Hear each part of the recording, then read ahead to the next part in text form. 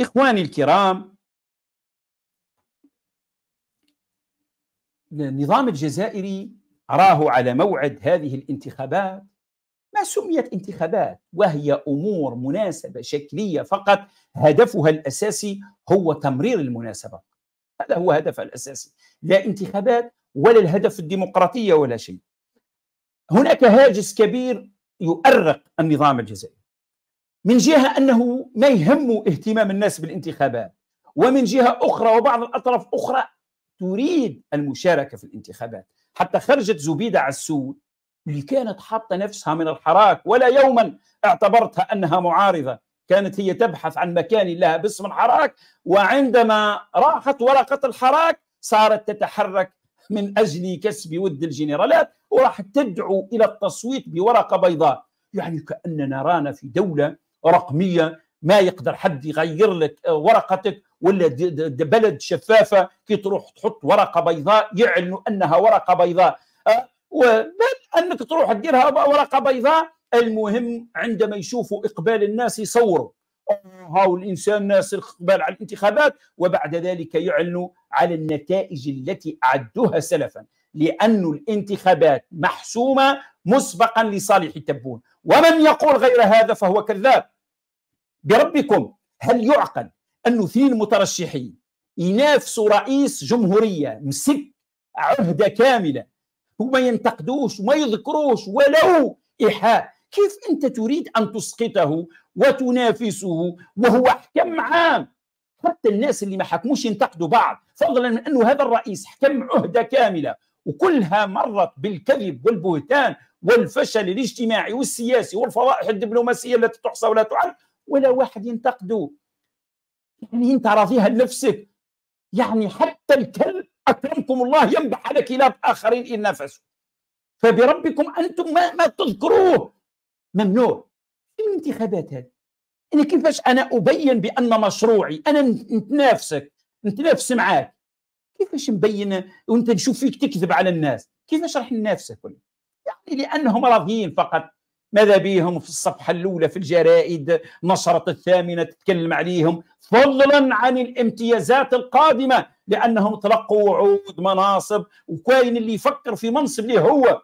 لأنه يا يفكر في سفير يا يفكر في منصب وزاري أو شيء من هذه القبيل لأنه منصب رئيس حسمها الجنرالات وحسمها آه، شنقريحة ولا يمكن أبدا أنه يصل غير. المهم إخواني الكرام أنه هذا النظام تخيلوا بلد يتحدثوا عن الاستقرار. بلادنا راهي مستقرة وبلادنا راهي زي الفل وبلادنا راهي راه نجحنا. نظام منذ 62 هو يحكم. نظام عسكري آه، العسكر يشوفوا الدولة نتاعهم ويتحكموا فيها لأن الجيش نشأ قبل الدولة. هذه الحقيقة. لذلك الجيش يشوف الدولة تبعه. يملكه وليس أن الدولة تملك الجيش. هذه هي الحقيقة في الجزائر.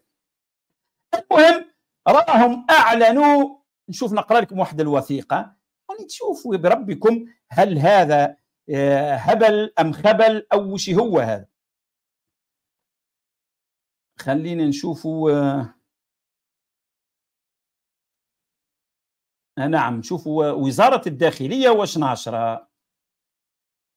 ها.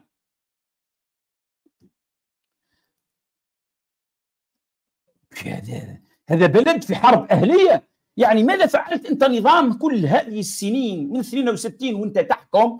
يعني حتى تجيك انتخابات بهذه الطريقة كيفاش راح تسوق للمستثمرين؟ شوف وزارة الداخلية الجمهورية الجزائرية وكذا وكذا تحسبا للانتخابات الرئاسية المسبقة ليوم 7 سبتمبر 2024 أقرت وزارة الداخلية والجماعات المحلية والتهيئة العمرانية تدابير خاصة سارية عبر كامل بلديات التراب الوطني وذلك خلال الفترة الممتدة من يوم الجمعة 6 سبتمبر 2024 على الساعة صفر إلى غاية يوم الأحد 8 سبتمبر على الساعة الخامسة صباحا ويتعلق الأمر بماذا؟